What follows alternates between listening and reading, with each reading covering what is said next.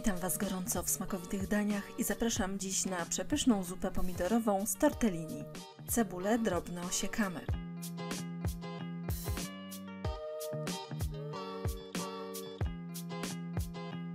Ząbki czosnku kroimy w plasterki.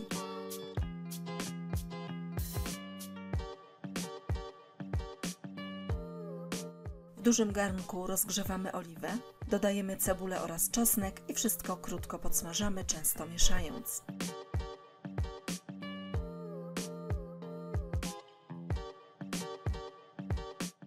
Następnie wlewamy bulion, całość doprowadzamy do wrzenia i gotujemy około 5 minut.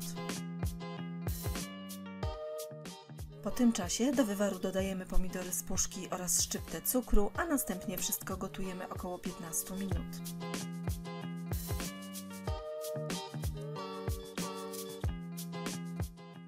Pod koniec gotowania zupę doprawiamy suszonym oregano, solą oraz czarnym pieprzem. Gotową zupę zdejmujemy z ognia i lekko ostudzimy.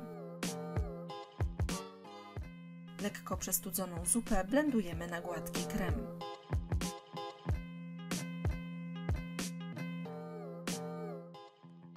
Tortellini gotujemy w garnku z lekko osolonym wrzątkiem według przepisu na opakowaniu, po czym odcedzamy lub wyjmujemy łyżką cedzakową.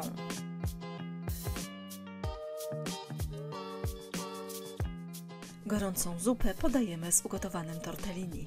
Po więcej pysznych przepisów zapraszam na mój kanał Smakowite Dania oraz na stronę smakowitedania.com.